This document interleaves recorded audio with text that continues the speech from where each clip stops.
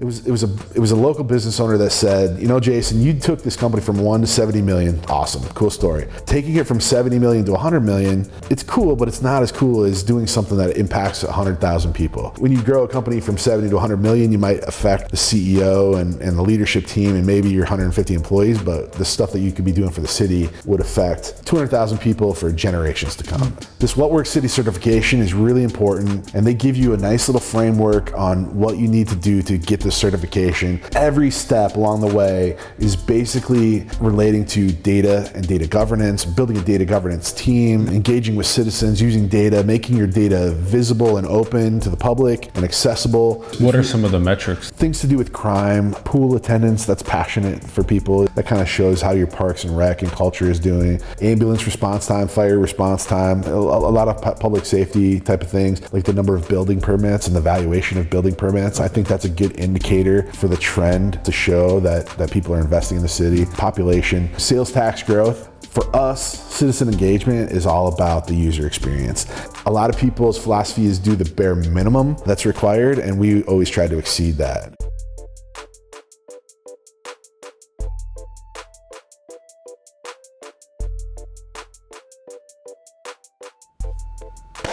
Boom, what's up everyone? Welcome to Simulation. I'm your host, Allen Saakyan. We are on site in the beautiful Sioux Falls, South Dakota. We are now going to be talking about innovation in Sioux Falls. We have Jason Reisdorfer joining us on the show. Hi, Jason. How you doing? Thank you so much for coming on. You bet. So pumped for this conversation. Congrats on the new role with the innovation in the city of Sioux Falls. Thank you. So pumped for this convo. Those that don't know Jason's background, he's the Director of Innovation and Technology in the city of Sioux Falls, South Dakota. This includes making the city of Sioux Falls one of the smartest cities in the country by leveraging data to make decisions. And you can find the links in the bio below to siouxfalls.org as well as Jason's Twitter and LinkedIn profiles. Jason, let's start things off by asking you one of our favorite questions. What are your thoughts on the direction of our world? Oh man, it's um, I'll just say that I think the direction is heading towards polarization. Um, it seems like everything's just like hot and cold, and hot or cold, and and I think there's there's there's lots of people who live in kind of the middle ground, but but they don't they're not the ones that are talking. Like so i think that's the huge majority that kind of lives in the in the middle in the compromising space. But the people that kind of have the platform and the voices are on, on polar opposites.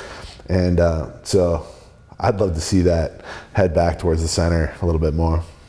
Yeah. And one of the these like first principles is that it really starts with our own inner adventure of consciousness and our own ability to commune with the divine and our, bring our own gifts forth and see other people as unique that can bring their gifts forth but then once you start trying to you know, dehumanize other people and things like that, that's when you get into really bad. We don't want that in society. And so, um, like this first principled understanding of life, uh, of how beautiful this adventure is for us all, and to really treat that as like the divine experience it is, it'll like help us get away from some of the.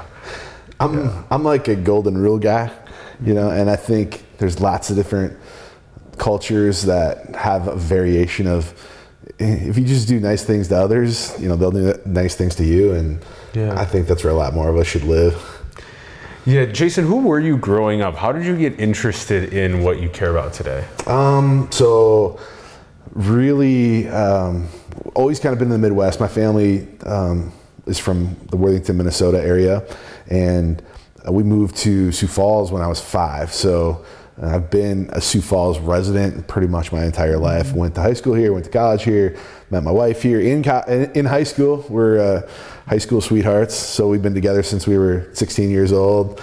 You know, dated since we were 16. 16. And so, what was your uh, elementary, middle, high school, and college? Which ones? So uh, Hayward Elementary. Okay. And Axtell Park Middle School. Mm-hmm. Um, I, I think we were one of the last classes at Axtell before they built Memorial Middle School. Um, and then I went to Roosevelt High School and, and Augustana for college. Um, we've had, my wife and I have had, I bought my very first house. I, I, was really into real estate. We bought my first house when we were, when we were going to Augie, um, sold that, bought a house and built a house which was about a mile from her parents and a mile from my parents. And so just back to our roots on the kind of the west side of Sioux Falls. And now we've we've since built three three new houses and they've all been within five miles of each other. So we're kind of stepping up through the property ladder, but we love the, the west side of Sioux Falls. And so we've we've been here for forever. Both of us really have. And you guys had two kids. Two daughters. Yep. Two daughters. And, and um, they're active, and so I spend a lot, as much time as I possibly can coaching them in their sports or, or whatever they want to participate in. And um, so yeah, it's it's it's great. I'm I'm I consider myself a Sioux Falls through and through kind of guy, and love it here. I think it's an amazing city. I just Yeah. I, I I love the people. I love you know it's it's big enough to have real events, but it's small enough to still have kind of a little bit of a hometown community feel, and um, and so so yeah, that's that's me. We um, both of our parents were kind of a working class. Um, it didn't seem like we had. We, it seems like we were fairly poor growing up, but but we never were without anything. And so I know my, my parents both worked two and three jobs, you know, throughout our entire childhood, but still found a way to get us to every single uh, sporting event or music event or whatever else we were participating in. So um, just a good, true working class family um, growing up and you know i think that's a big chunk of who i am today which is like still really working class at the heart even though we're doing some some cool innovative things. And at Augie, how did you pick up what you care about? so i went to augie. My, my wife is actually one year ahead of me in school and she decided to go to augie first. So that naturally i that made my decision more clear when i was choosing where to go. I actually really wanted to go out of state and get out of sioux falls um, but when she chose augie um, i wanted to stay close to her um, i actually uh, went to augie on a choir scholarship.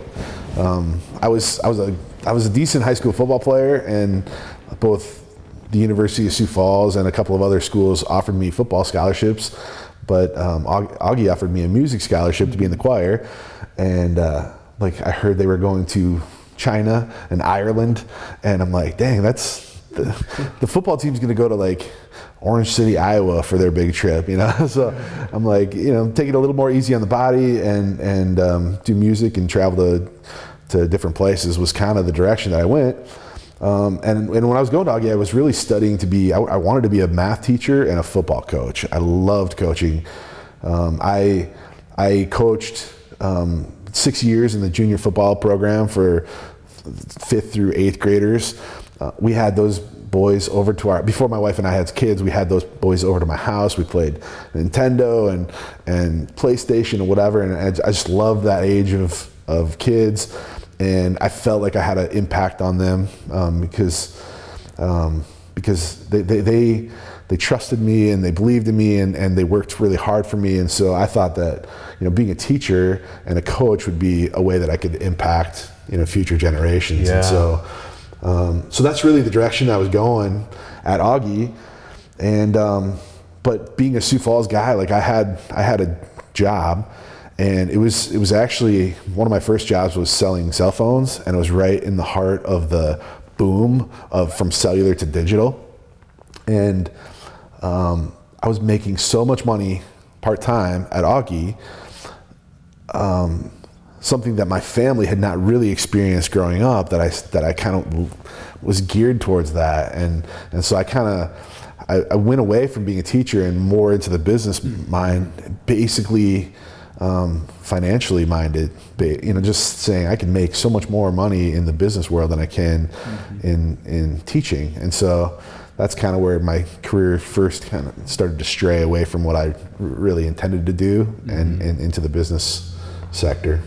And then maybe even to be able to do things like take what financial resources you accrue and then be able to make what you want to um, help people uh, at a more widespread ability with those financial resources than maybe that you could without them and just teaching.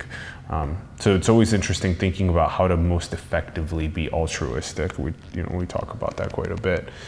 Okay, then how did you end up, like, what did you end up picking up in this business world as you continued um, getting all the way up to uh, Wiser? Wiser Distributing was this big one that you most recently. Yeah. Yep. I spent, um, I spent, I actually spent seven years playing poker for a living. Uh, like I was, we were paying the house payment based on my poker earnings. Um, that Texas Hold'em. Yeah, Texas Hold'em. I traveled all around the country to all the major tournaments and, and played. And, and actually, online poker at the time was was legal, and, and so being in South Dakota, that's where a lot of my time was spent on online poker. But the thing about poker that really related and correlated into business is that um, for me, I'm a math guy, math major type of mind. So it was all about the numbers. But the secondary part of poker was about the people and the relationships and being able to communicate effectively with people and, and being able to manage your money. I mean, to be successful, you couldn't just like gamble all the time. And so there's so many of the principles that I learned playing poker that really applied to business um, risk tolerance um, negotiation and risk analysis a lot of those things and so um, from poker i actually went into the restaurant business and, and um, ended up being the assistant general manager at bennigan's for a couple of years and then into a local pizza franchise boss's pizza. Um, and for me that was really where i got my first experience into into business uh, leading teams, setting schedules, managing uh, managing vendor relationships, um, taking care of inventory, um, you know, the budget piece, P and L. That's where that's where I really started to understand what P and L, um, Profit and loss. yeah, profit and loss, um, cash flow management, all those things. So a lot of the, the principles that I kind of had first exposure to in poker really started to translate into the restaurant business um, for me. And then ultimately, from the restaurant industry, uh, I, I helped a, a friend of mine who who I had known for lots of years in the poker circuit um, start up or, or really grow uh, the business that that is Wiser Distributing, um, where we started with three of us in his garage, um, and took it from a age old auto body tool truck where it was just one man, one truck going shop to shop selling auto body tools into a top 50 Amazon seller over the course of seven years. Whoa. So it was it was an interesting path um, to get there, but um, but but yeah, that was the the, the the start of this thing. So okay, so in so in seven years, then it, well, I, let's start with. Um, it's cool how you were giving us how like um, these skills from playing poker can be applicable to like the business world, or like a lot of times we talk on the show about kids that are playing video games. They learn a lot of real world applicable skills as well. You know, resource management, teamwork, um, like uh, build strategies, these types of things. And so it's cool how you brought that up with poker too. I think that's really key. And then, okay, and then so then you were gaining these the skills um, in especially in the restaurant sector. Do, and that's a big one too. Is when you get really immersed in the restaurant sector and you take, especially in a managerial role, you start seeing how the operations work and you gain deeper empathy and better understanding of business. And then, okay, so then you find yourself with Wiser, and so then you guys are you have so it's auto body parts. Yeah, the, the, the business at the core started as auto body tools and supplies. So polishes and waxes and, and sandpaper for, for painting your car or, or restoring a car. That's what the business started as. We we took that that age old business of auto body tool sales and put it all online. Online, yeah. And so But not, and or is it both on the the domain that you owned as well as Amazon, or did you migrate most of the sales to one of the? Yeah, we, we started as both, and we were actually really agnostic when it came to the channel, whether it was our site or eBay or Amazon or whatever. Um, we just wanted it to be available for anybody. We were really good at shipping. The, I had a I had a personal um, side gig along the way of selling baseball and softball equipment. And so I was really, really comfortable with eBay, really, really familiar with the best practices on how to ship and how to get good feedback and how to interact with customers. That's how I got involved in this Wiser Distributing. Um, when Eric Weiser uh, was the son of the founder of the company, was going to take it over, he really wanted to um, find efficiencies in how to ship these things all over the world. And so that was really my background and his business that merged and, and really focused on being able to sell these things to anywhere in the world. So we were doing like a million dollars in sales locally in Sioux Falls. Um, by the end of I think the second or third year, we tripled that online. Yeah, Um, yeah, And so our reach just became really, really wide. And um, Because you became online about seven years ago. yeah, that, that we we really migrated online um, 2011. Yeah. um, that's when that's when I started with the company. Cool. And and that just like opened opened up the, the world for us. And and so while we started as auto body tools, we now I say we because like I'm still a little bit involved in terms of advising the company. Yeah. Um, we we we are now into hunting. Fishing, Okay. toys and outdoor games, um, doll clothes, like I mean uh, everything. Like it- it's- Interesting. the the scope of the SKUs or the number of products is is I think when I started we had 300 items and now I think they have 40,000 items. Whoa. And so all, all different verticals, all different markets, Whoa. all different vendors. Um, 40,000 SKUs to manage that is crazy. What were some of the shipping best practices that you implemented? So Amazon was kind of the king of customer service, and they their standards of of fast and free. Uh, we really brought that into our business. eBay had like their requirements was three to five days, but we we, our goal was to always exceed it. And so we wanted to mirror Amazon's best practices of two day shipping into a three to five day environment. And nobody else was doing that. And so I think our customers recognize the fact that, dang, these guys really deliver above and beyond what the expectations are. And, and so for that, that just remained a focus. And so our best practice is, you know, if it came, if the order came in before two o'clock, we wanted to get it out that same day. And our shipping team and our warehouse team bought into that strategy, and it really served us really well uh, moving forward. So, kind of, you know, I think the, the a lot of people's philosophy is do the bare minimum. Uh, that's required, and we always try to exceed that. And, and so that, that was kind of the best practice for us. We also utilized um, the, the USPS, the US Postal Service's flat rate system, which I don't think a lot of other people are doing. Um, a lot of people were shipping via U- UPS and FedEx and just kind of paying whatever the rate. Well, we figured out the, the items that fit best in this fixed rate deal. And so if we could condense the most money into a fixed rate box, like that, that went straight to the bottom line. And so we really found a ton of efficiencies and, and, and customer customer satisfaction through some of those best practices. So Yeah.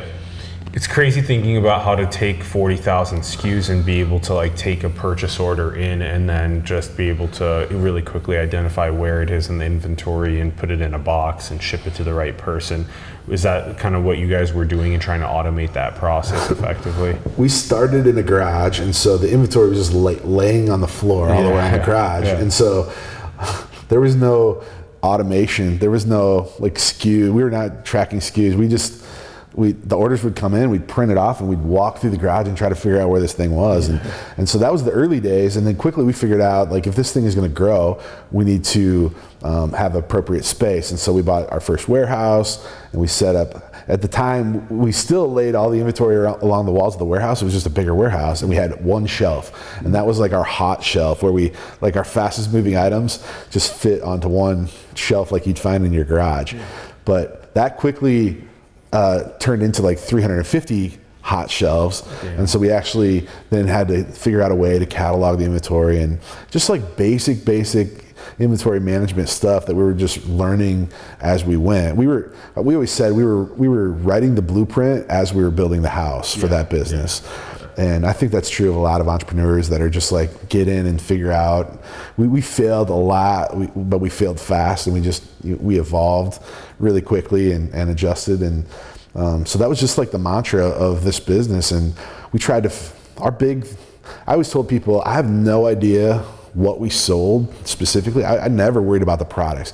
I was. There was plenty of people in our organization that worried about the products. I was worried about the people and the process, and that was exactly what I worried about in the restaurant business and and all the other businesses. If if I could figure out the people and make a process that was um, sustainable and scalable, then the products didn't matter. We could sell doll clothes or we could sell auto body tools. It did not matter. We just we focused on hiring really great people. Yeah. So Stellar people in process. yeah. How did it end up uh, coming up this uh, innovation and technology in Sioux Falls gig, and how did you end up being like, okay, it's time to make this transition? So that was interesting. So about a year ago, um, our our current mayor, Paul TenHaken, uh, was um, he was going he was he was uh, going through his campaign, and and so we invited him out to our business as one of the fast growing businesses in South Dakota, and he was interested in seeing kind of what our operation was, mm-hmm. and. And so we invited him out to our warehouse and we talked him through our process and we kind of told him like how fast we were growing. He was really interested in that piece. And, and that was really the first time that I had met him and had any discussions with him. Um, and, and and from there, he, he goes on to be elected mayor, and he he takes a class through the Harvard Bloomberg Initiative uh, on city leadership. And it was at that class that he really started to uh, be exposed to this idea of innovation and I teams in, in cities. And the Bloomberg program was really supportive of of some of these cities that are trying this method of innovation, city innovation. Mm-hmm. And so when he got back from that leadership initiative, um, he called me up and said, "Hey, I want to rebrand this department in Sioux Falls that used to be Central Services, and it was kind of the central dumping ground for all issues. Like IT lived there, and and multimedia support lived there, which is basically." Um, just a place where all the problems started to flow to. And he's, he's like, I want to take this department and really turn it from being reactive into being a strategic partner uh, citywide. And he said, would you be interested? And I, uh, actually, I said, that's amazing. I think it's a great idea. Let me know how that goes for you, you know? And, and so he kind of let that settle. And then a few weeks later, he called me. He's like, so I am going to move forward with doing this. And would you be interested in, you know, being the director of this department? And I'm like, no, uh, he called me on the day that I was golfing with the CEO of Weiser Distributing. Uh, like, I'm like, oh, the mayor's calling and yeah. answer it. so he's basically asking me if I want to do this while I'm sitting next to my partner in the business. And and, um, my first response was no. Like, I'm I'm in a great place. We're a fast growing company. We're killing it. And um, he's like, well, you know, if you think about it, I'd like to talk to you one more time about it. And we ended up having one more lunch conversation, and we just talked about. Um, the impact that this position could make and the goals and the objectives and the type of work that it would be doing. And and I really had this deep down pit of my stomach service minded approach. Yeah. I, I, was I was I, am currently the president of my church council. Mm-hmm. and our, our church went through a really tough um, phase where a lot of people left the church.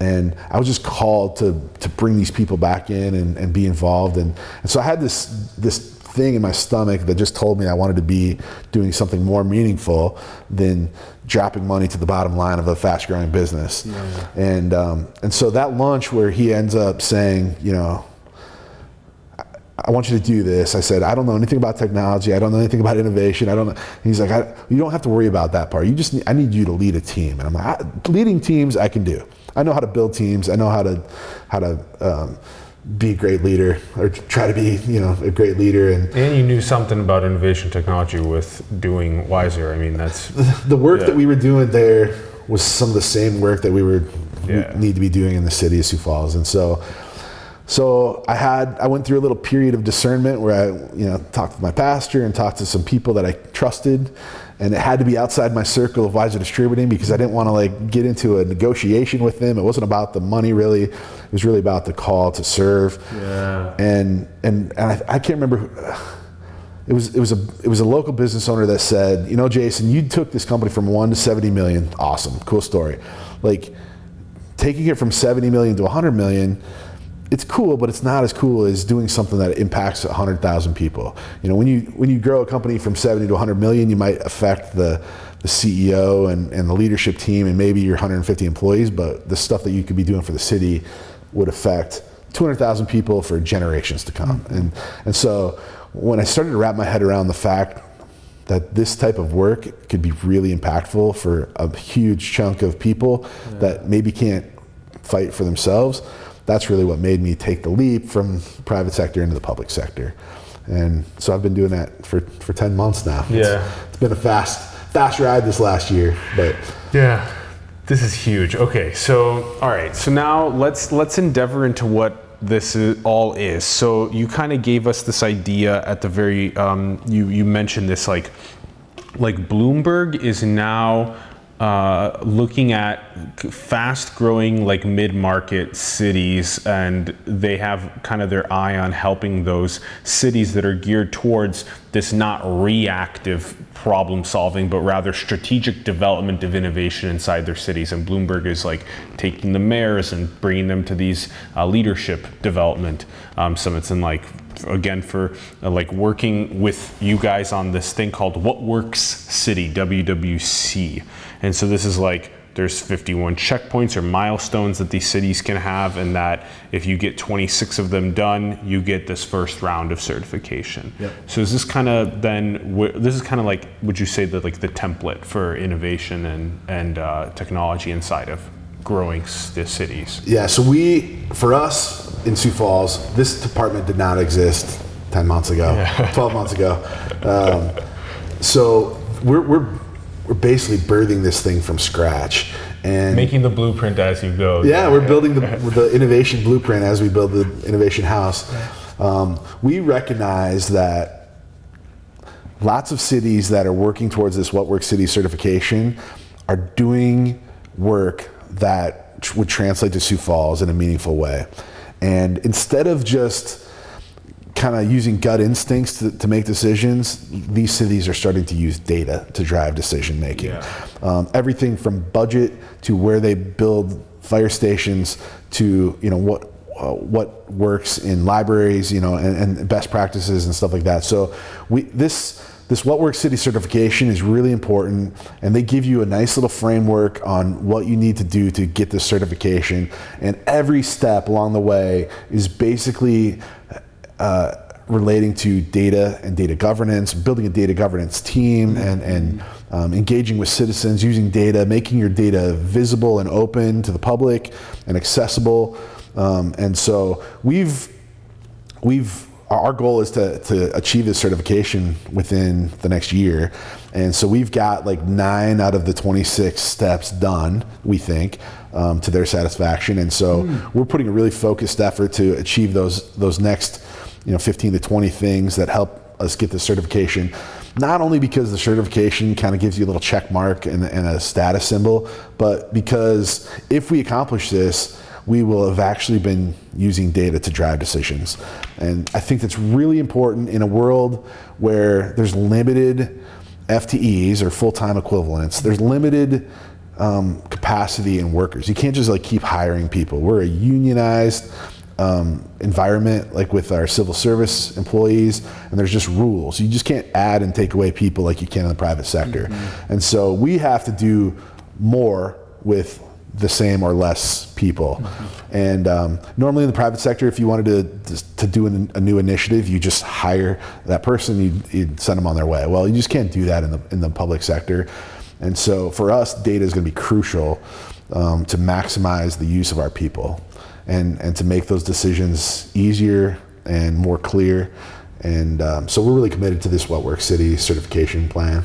I love the making decisions based on data and really building like this this data refinery in a sense actually being able to take in all these streams of data inputs and then make sense of them and make the best decisions.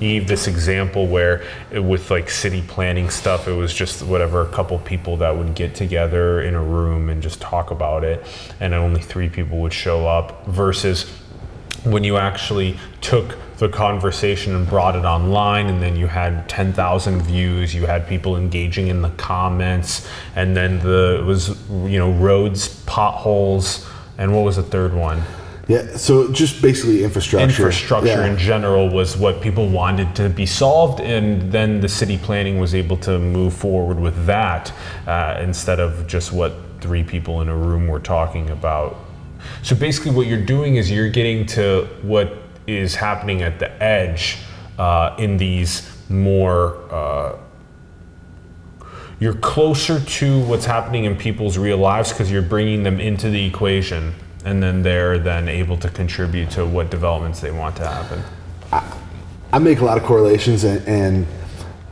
to the private sector. And what we did for our best practices on fast and free, basically that means making the, the user experience better and bringing the user closer to like what their desired outcome is. And so for us, citizen engagement is all about the user experience. And that's actually, you know, it was debatable. You know, I'm, I'm in the room with a bunch of people from, from all over the country that are doing this type of work. And a lot of these people are 20 and 30 year veterans in, in the industry and in their cities. And I'm sitting here with 10 months under my belt saying, why am I here? Like, why am I? But, but I'm so close to being one of those end users mm-hmm. um, that, like, I think that's an advantage. And so the, the newer you are kind of in, in this role, it, it helps you understand like what these users wanted. And so for me personally, like my favorite way to interact was not to go down to the library and sit in a town hall to participate. My favorite way to in- interact was through social media, through yeah. Facebook, through Twitter, through whatever, and, and, and listening to podcasts and interacting and watching shows. Yeah. I, I was not interested in, in sitting through a six hour seminar on public works, mm-hmm. right? But I but I could engage in a way that was easy and efficient for me. Yep. And, and, and so that's what we're trying to do with our, with our citizen engagement too. We're trying to bring the issues into your living room so you can make it, you know, everybody's busy. And so we don't want you to drive down to the library and sit in this meeting. We want to bring it to you. And so when the, when the mayor, um, he's got a great following on social media. When he, when he raised up, hey, what do you, what do you guys think we should do with our budget next year? The comments just started. It was just a common. Every other one was roads, roads, roads, potholes, potholes, streets, infrastructure. Um, we went through we went through a phase where we built a lot of cool things in Sioux Falls, like the the aquatic center and, and the premier center, and mm-hmm. those are great um, venues to, to go. But at the end of the day, people wanted to take care of what we've already got. That that was just a common theme, and so through social media and through these social engagements um, that became a priority for us in our budgeting. And, and 85% of our budget next year is going to be spent on roads and infrastructure. Um, we're not buying you know, new, new things that, that are cool and exciting. We're, we're taking care of what we've already got. Uh, that was all made possible through the, the, the citizen engagement tool that we're using. So, in, this is great. So, we engage citizens, and then we take the data stream that we get from the engagement, and then we close the feedback loop by acting on what they want, which is, you know, in this case, it was roads and potholes and infrastructure in general. So, then what were some of those nine other ones that you guys have out of the 51 and um, what works? A, lot of it had to do with uh, public facing dashboards. And so we take that data and we built the dashboard. That was a quick win that we got early in in my role is to create a citizen dashboard that lives right on our main page. And we've kind of got nine KPIs that we think are important that citizens are constantly asking about. Like if you were on a desert island, how could you tell how your city of Sioux Falls was doing? Mm. Hopefully this dashboard tells that story.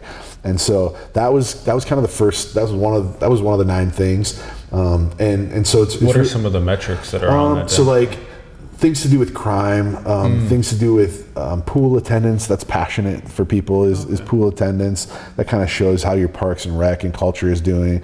Um, ambulance response time, fire response time, a, a lot of pu- public safety type of things. The other thing that's on there is um, like the number of building permits and the valuation of building permits. Okay. I think that's a good indicator for the trend of building permits to show that, that people are investing in the city. Mm-hmm. Um, population, just some of those type of things. Sales tax growth, um, that's a, like we're funded, the entire city is funded through sales tax really.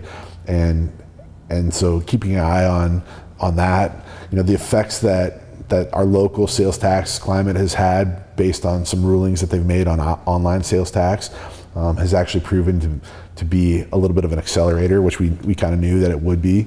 Um, but if there was a huge dip in sales tax, we knew that we'd maybe have to make some changes in future budget cycles, um, you know, that are more conservative. But with tax, uh, sales tax growth being positive, um, we can be a little bit more aggressive in, in some of the initiatives that we're pushing out. So those are the, and then each one of those things has a like a more info button where you can, if you know, if you, we wanted it super easy for like Joe Joe average user to be able to take a visual, but we also wanted it accessible for the like the data geeks and, and the data nerds that wanted to dive in deeper. And so each one of those opens up to a deeper um, trailing history. And, and, and so we focused a lot on that. And we're going to actually try to roll um, the, the concept of dashboards into all the different departments.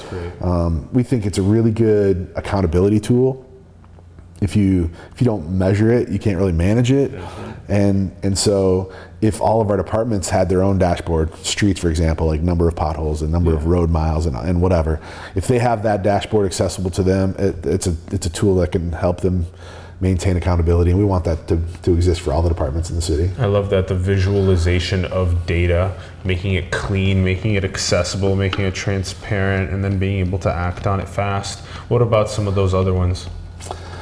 Um, uh, a lot of it is the storytelling uh, component. You know, building, uh, having a governance, having a team built um, to work on this, um, having the mayor's, you know, some of it is as simple as having your mayor um, tweet or or publicly endorse uh, the support of this program, and uh, they they want it to really be like a top-down approach in terms of of um, support.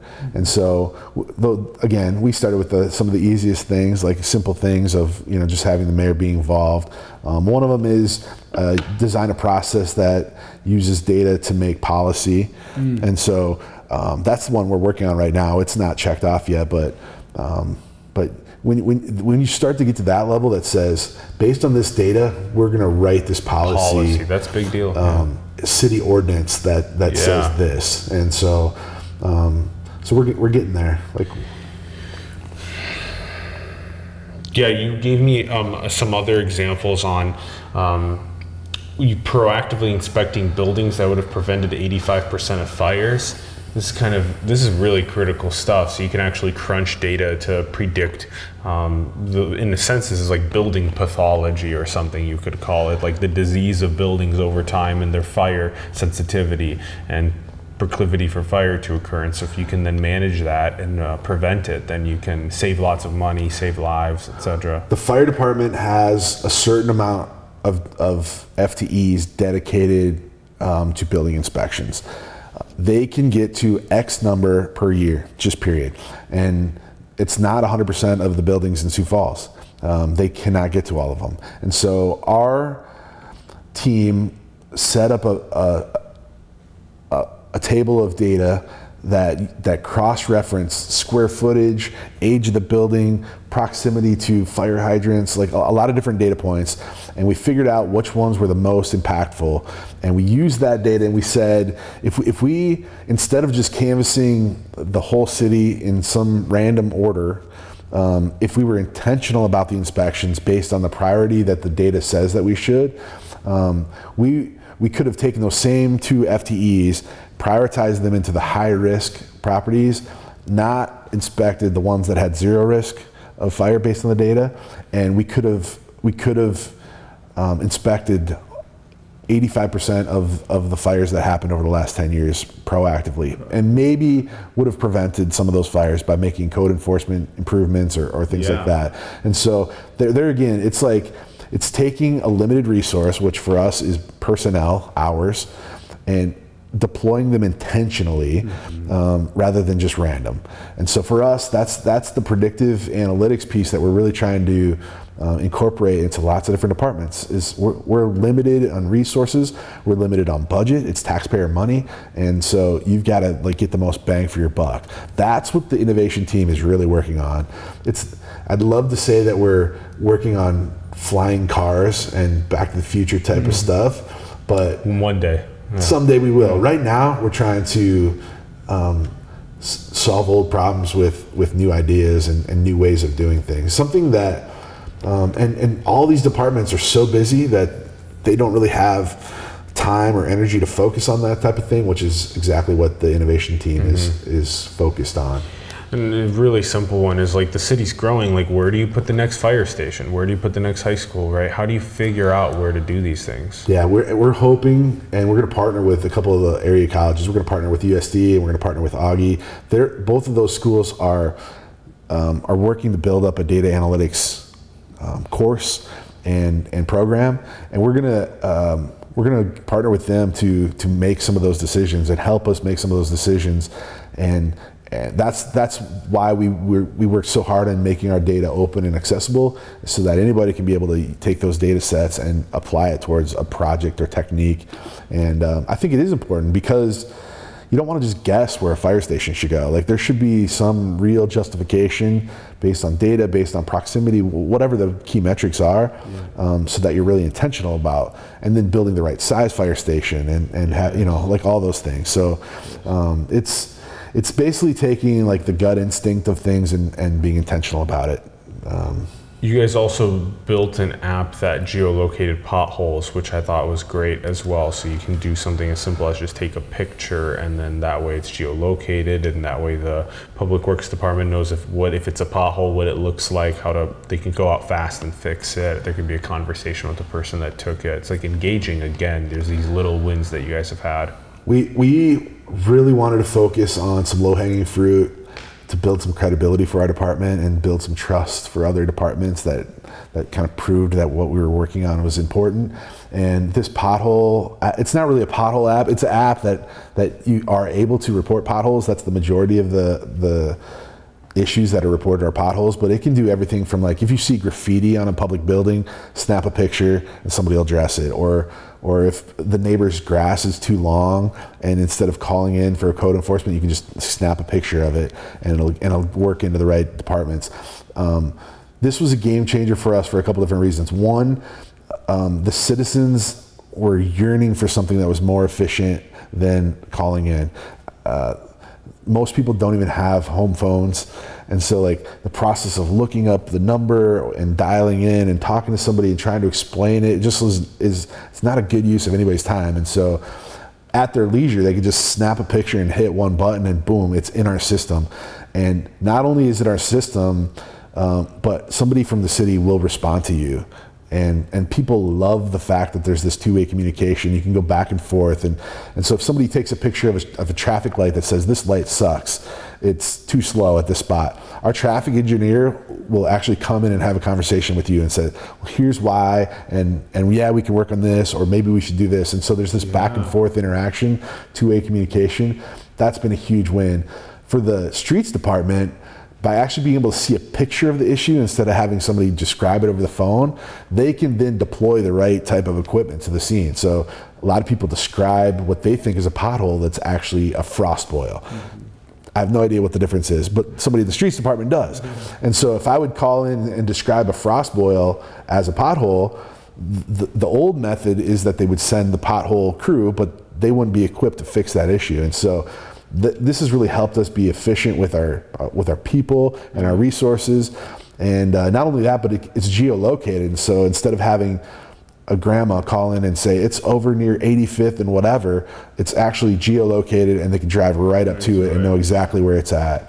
And um, so that for us, efficiency, super um, low cost, low implementation timeline, engaging, and and it checks a lot of the boxes of citizen engagement and creating efficiencies. And so we're, we're looking for those kind of things. That's that's an example of actually applying technology towards innovation yes and, and a low-hanging fruit that right. you guys got to say that hey we got this one in and that's right. it was solid yeah and then how about um, let's talk about as you know you're you're going for these bigger ideas as well because you you've done this process of building credibility and trust so you have um, the public transit thing is kind of interesting. Like so many of the cities, especially in the United States, the United States is such a large uh, country that we have cities, especially in the suburban areas, that are quite uh, widespread. Where basically you have to have a you have to have your own personal vehicle mm-hmm. to get around from place to place because it's inefficient for your time to use public transit. It's also just like we were just talking about. There's like a person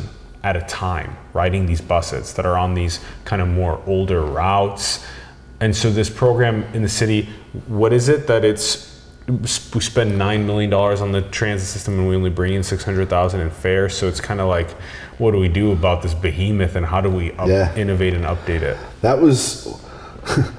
I went to the one of the first luncheons that I went to that the mayor was speaking at. Um, somebody asked him a question and he said, "We've got this nine million dollar transit system that's failing, and that's the first thing I'm gonna drop on Jason's desk on his first day of work. And I was like, "What? I don't know anything about transit. I've never even ridden one of our buses. I have no idea about anything." And um, and so we actually, it is a mammoth, behemoth monster that that several task force have worked on over the last few administrations, and nobody's really come up with a good solution for this. And so. Um, so yeah, talk about like high expectations on day one. Yeah. Um, that's what happened with this. But we were supported through the Harvard Bloomberg team, and they actually sent us a design coach that that taught us the principles of human-centered design. Yeah, I love that. And so I built a team that was made up of of 12 different departments in the city or 10 different departments in the city, made up of 14 people intentionally they had no history or knowledge of transit because we wanted to approach this with a mentality that was totally fresh, totally clean. So my requirements were you had to have high energy, you had to be really open to change, and you and you couldn't be the type of person that said this is how we've always done it before. Mm-hmm. Like that's a game changer. It kills a game in the innovation world if you if you come to the table and just say we can't do that because that's not how we've always done it before. Like that's completely the opposite of, of what our department's goals are. And so we built this team and we studied the transit system. We figured out that we had these routes from 20, 30 years ago that were the same routes, and they were just. I just like, want to say there's, there's so many potentials for like combinatorics in terms of ideas and where you could go, and so just drop that from your mentality. This idea of like, oh, the way that we've been doing it is best. It's like there's so much more future options that could be better, and so like to creatively explore those is so critical. Yep. I think very similar to that thinking is the rules say that we can't do that, and so we can't do that. And my approach is, so can we change the rules, right? Can you rewrite policy? Can you can you lobby for new laws? Um, so that the rules aren't this thing that limits you. Yeah. Uh, and I, am not saying we should just go out and change a bunch of rules or break rules or anything like that, but like yeah. when people fall back on that's not how we can't do it because of this or it's not how we've always done it, that stifles innovation and creativity and everything right there. And it's just it's just over. So that's that's my mantra. My team knows that. It's like, do not come to me and say we can't do this because yeah. of that. Like we have to tell me why we can do something, not why we can't do something. And and uh, so this team approached it like that, having no experience. We figured out that this $9 million a year system was only bringing in 600,000 in fares. Um, we could literally, we figured out on day one, we could literally give everybody that rode the bus a free Uber ride. We could pay for their Uber ride and we could save like $3 million a year. And so wow. it's just because, you know, Sioux Falls, you can get anywhere you want to go in basically 15, 20 minutes, right? If, if you have a car, yeah. you can leave your house and get anywhere you need to go in 15, 20 minutes. And so public transit, because we're kind of a sprawling city, the, the fixed routes have not grown as the city's grown. Mm-hmm. And they've been centralized. And so all the services we figured out through the human centered design process and, and interviewing riders that actually use the system that it was failing them in a way that the services were getting pushed to the edge of town affordable housing and, and healthcare clinics. Um, we interviewed one of the large employers in town. They said that the people that they hired had to go get drug testing at a facility that wasn't covered by a public transit route. And these people didn't have vehicles. And so, for they, what they wanted was for us to to create a fixture out that would loop people into that thing. Well, the cost of adding that fixture out is enormous, and we're never going to bring enough fares to, to cover that cost. And so we had to really think about it from a completely different angle. And, and what our group came up with through tons of engagement with riders and, and stakeholder interviews and talking to people that car lovers that that are never going to use it no matter what. You know, that was a stakeholder group we still wanted their opinion on, and, and employers and, and school district and, and everybody. We had tons and tons of these meetings. We figured out that um, it didn't operate where people wanted. It didn't operate when people wanted. Like it didn't run. It doesn't run on Sundays. Well, one of the biggest users of our transit system is um, in the the hospitality area, the housekeepers of hotels. Their number one day of the week for work is on Sundays. And so the people that needed it the most were not using it on the day that they needed it the most. Mm-hmm. And so we tried to solve it from how do we get more coverage, more times a day, more frequency, get people. Um, some of these people we figured out were, were spending an hour and a half on these loops to, to get to their appointment. Well, if they're doing that twice a day, they're basically burning three hours of their life Yeah. Every day. Where they could just be doing 20 minutes. Right. Yeah. And so our goal was to f- could we find a system that had more coverage, more times, faster, and and do it for as much or less as the current system. And what we came up with is is this idea to take our existing fleet of buses. We have like 23 buses in the city that run on 12 different routes. Um, could we use those almost like a shared Lyft or a shared Uber? And um, there's lots of cities across the country that are exploring the ideas of microtransit and, and transit on demand. And we kind of came up with a hybrid approach that we could use our existing fleet, which we own, so we don't have any extra costs or whatever. We, we could use our existing drivers. Um, and instead of driving around the city with empty buses for people that aren't riding, we just park the buses until somebody needs it and we just go pick them up and along the way if there's similar people on a similar route you could you could start to like you know find some efficiencies in having this shared bus route and so we It's almost as though then it should just be uh, you already own the buses, so I understand that that, that that's that's that that is um, an asset that is owned already. But there's so much inefficiency with driving a bus for a single person that's trying to take the bus versus uh, uh, if the single person was in a, just a car being driven by a person.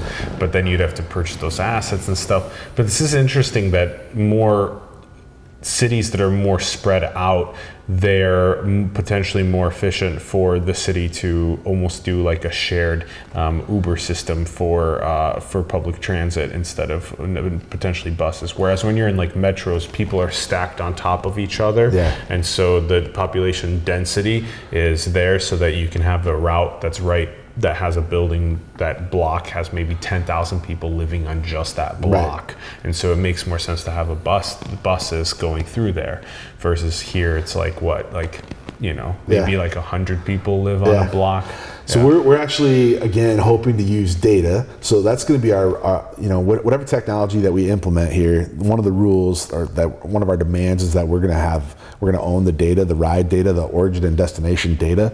Um, we think that there's probably we, we're hoping that we find um, reasons to downsize these these buses. You know, and there's going to be maybe be a mix of 10 huge buses and 10 half-size buses and 10 shuttles or mm-hmm. vans mm-hmm. and depending on where people are going and how many people are moving like you deploy the right size vehicle you know to the right size situation It'll be So- more efficient for people's Yeah. time and um, saving money uh, from the oh, from the budget as Yeah. well. It's quite interesting the way you can innovate on something that's like archaic, like Yeah. like that transit system. We, we think that there's going to be room to bring the fixed routes back in based on um, the origin and destination. There, there, there's going to be some fixed routes that going that make sense based on some density, and and so we, we're looking at a heat map right now of the number of available jobs in relationship to where the affordable housing or low income housing is, and figuring out if there's justification for creating a route just between those you know those areas. And so we don't have any data now. That's the thing. This this archaic system doesn't really have data that's useful and so we're, we're, we're doing this not only to increase the coverage but to start to get some of that data that helps us you know make better decisions on where to put these things and so that's a really exciting program the um, it's mammoth I have no idea if it's gonna. I, we really hope it's gonna work, but if it doesn't, like we'll just have to pivot and find something else. Because at the end of the day, the people that are using the public transit now need it. They they have no. They don't have access to a car. They can't afford a car, and so we have to make this accessible, and and and we have to figure this thing out. And uh, we're just hoping that we can exhaust all the options for this before we have to go to the council and ask for more money. Yeah, we believe in you. The way that you're looking at tackling this is great. Yeah. Yeah. All right. 5G. What's going on with Sioux Falls' uh, pa- passion for becoming one of the first mid-market cities with 5G technology? John Thune is a state senator. Um, he sits on the committee that is really working on this. He's a home Sioux Falls is his hometown, and so um, he was passionate about making his hometown, you know, one of the first mid-market cities to have 5G. Um, so we brought in. He he helped us facilitate conversations with FCC chairman and and you know, targeted Sioux Falls as an option. Um, I'll, I'll just tell you that it's a lot of it is out of our hands. It's in the hands of the carriers that actually are going to be putting up the towers. Um, the role that the city can play and our innovation team can play is we're trying to do our, the best we can to facilitate um, ease of access to this the permitting process and the design process. We're trying to take out as much friction as possible um, to streamline this process so that I mean they're they're doing this in cities all over the country. Um, the cities we our hypothesis is that the cities that are the best partners and the and make it the easiest for these um, carriers to to deal with it are going to be the ones that get it first. And so uh, we have weekly updates and interactions with with both major carriers, and and so we've actually got AT&T and Verizon. yeah, for, for Sioux Falls, where we've got contracts with AT and Verizon um, right now. Um, we we've got ten tower locations actually in our permitted um, process, and the plans are are being reviewed, and, and I think they're set to go up in the next you know few weeks. Um, we're hoping we're hoping to um, that these go well, and then they want to they want to do 500 more, you know, in the next year or so. But I like how you explain that it's better for us to just help uh, enable the, um, the, the the more frictionless process for innovation, and then that can then catalyze lots of other innovation and growth that happens in the city, versus just trying to like slow things down and and have uh, like profiteer on some of the um, towers going up and whatnot. I do um, and have mentioned this on the show before, just the importance of slowing down in the sense of figuring out some of the longitudinal effects that 5G technology could potentially have on our biology.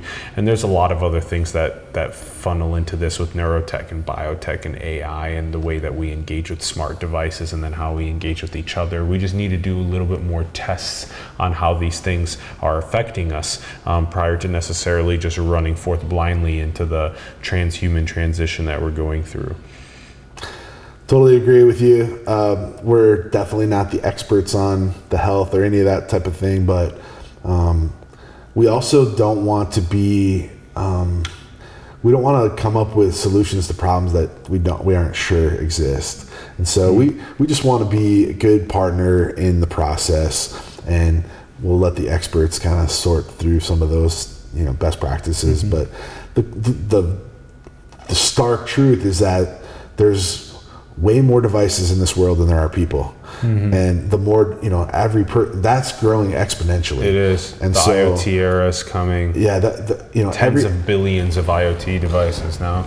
Yeah. everything from healthcare and, and doing surgeries remote and, and all those things um, you know 5g really a lot of people think of it like oh cool i can download a two hour movie in 14 seconds well that's nice but the real fact of the matter is that there's we need more lanes for these devices to travel um, and so that we can start to communicate in real time. You know this this public transit thing probably involves some version of connected vehicles autonomous vehicles in the future.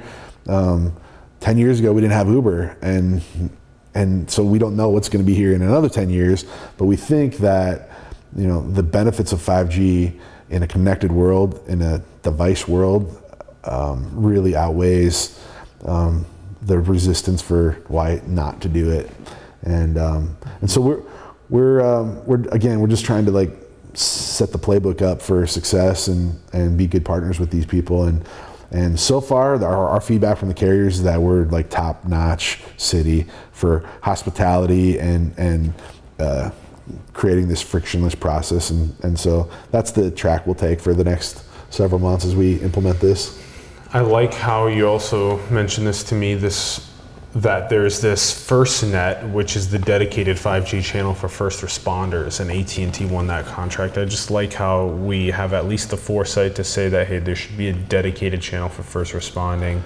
Yeah, that's huge. It's We- foresight. We um, and you know our, our city's contract is is with Verizon, but knowing that AT and T has this contract with FirstNet, um, we're at least testing it. Uh, there's 20 devices in the city right now in our vehicles, our police and fire vehicles that are testing the FirstNet system. Great. So we're not we're not I am not a fan of like all or nothing. I love pilots. I love testing. I Nuance. love, uh, yeah, I love, I love trying it. Yeah. And, and um, th- there's this like, there's this phrase that one of the professors that I listened to said that this, there's like this entropy of shittiness, which is when you try to roll something out and it's like a two year timeline for the rollout, by the time that it actually gets rolled out, things have changed so much Yeah, that you don't yeah. roll out the right thing. thing, yeah. And and so instead of that, like being agile and testing and trying new things all the time, like I think is way better than setting this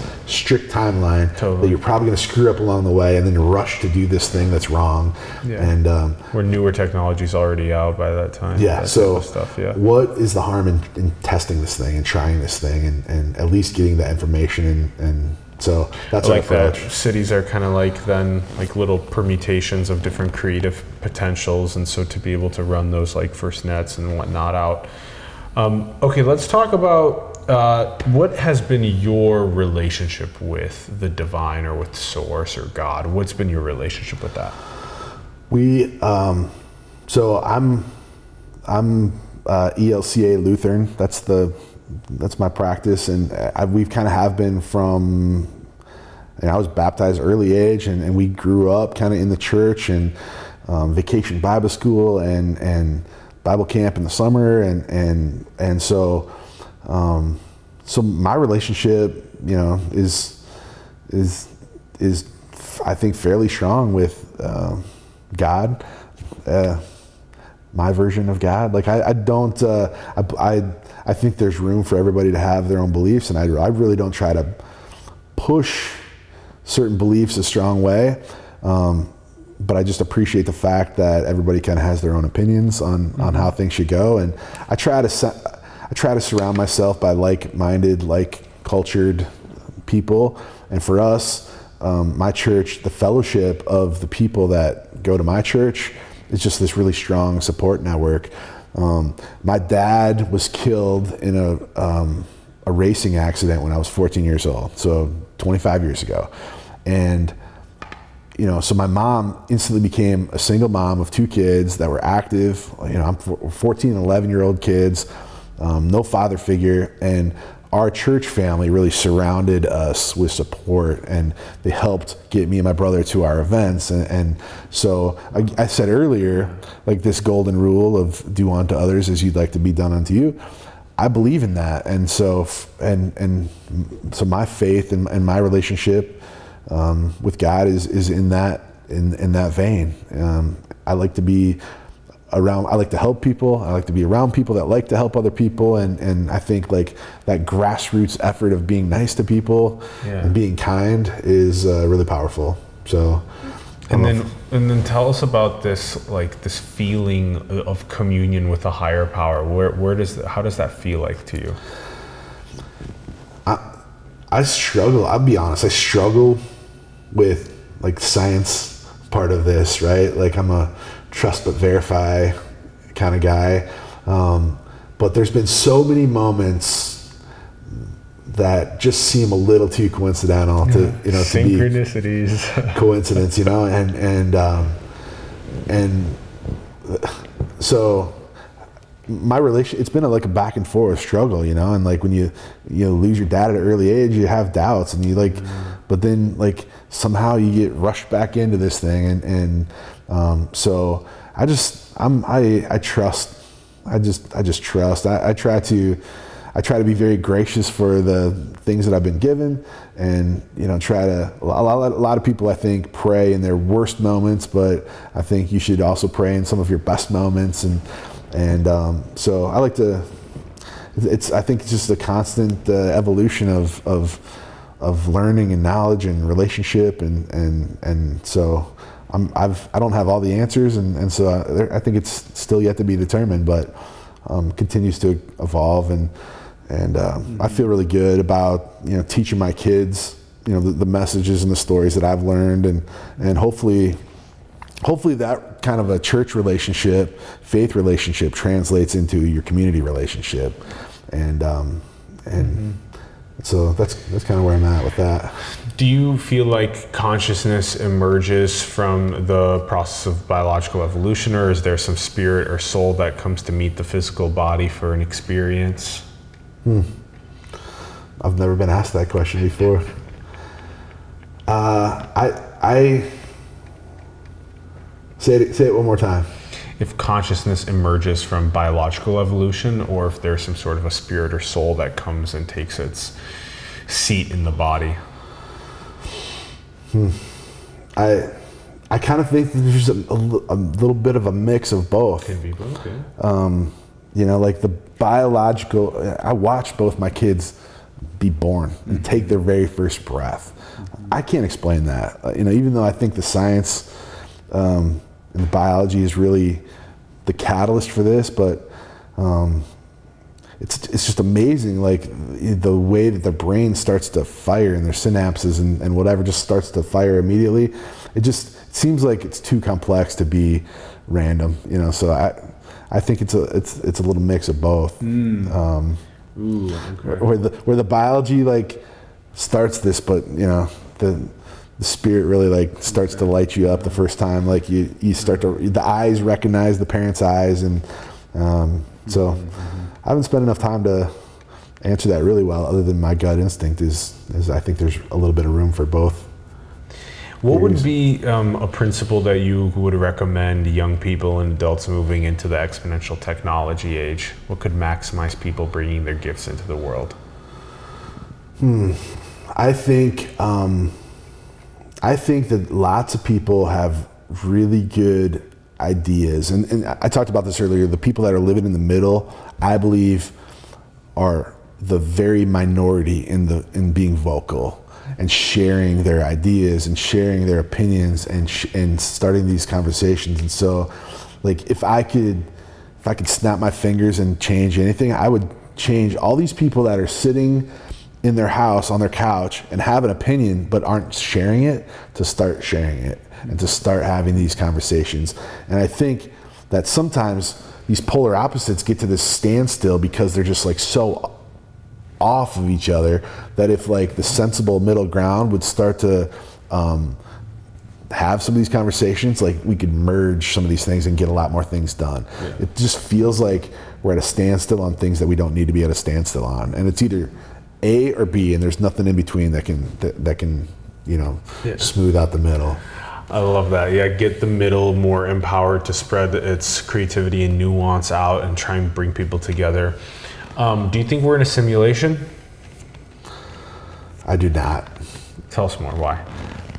Uh, when I think of simulation, I think of the movie Matrix, and I think this is real. You know, I, I don't think that there's.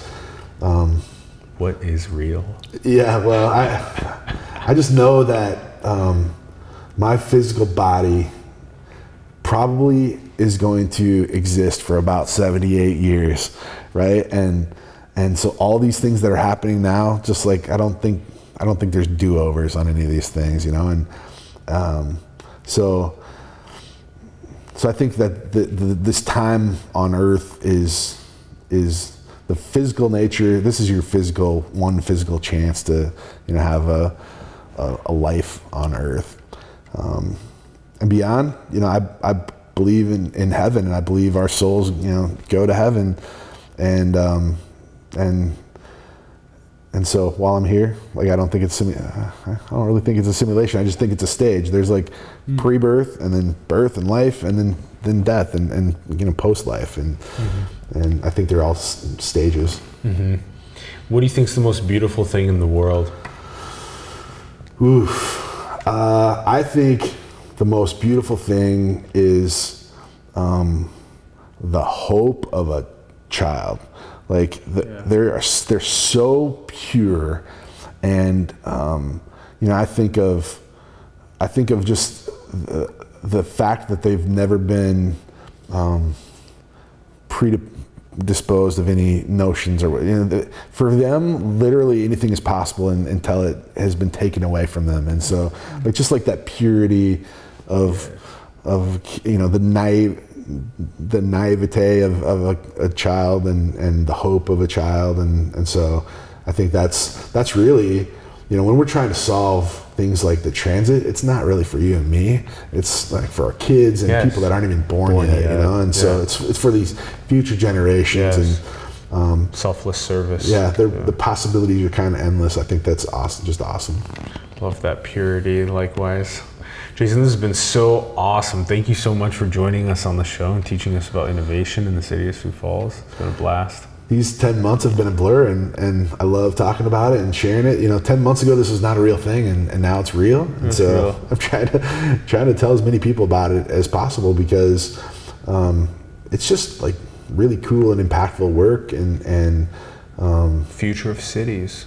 I think that that's, I think every city is dealing with some of the same issues that we're Yes. dealing with. And so uh, if, if there's other cities that see what we're doing and they can take pieces of what we're doing and put it in their city, I think that's super, super powerful. Yeah, yeah. Totally different from the private sector where it's like you have these secrets and you keep them all to yourself. In the private, in the public sector, you want to share, these Share these things, things. And, and collaborate as much as possible. And so, Help each other in that sense. I love that aspect about it too. Yeah.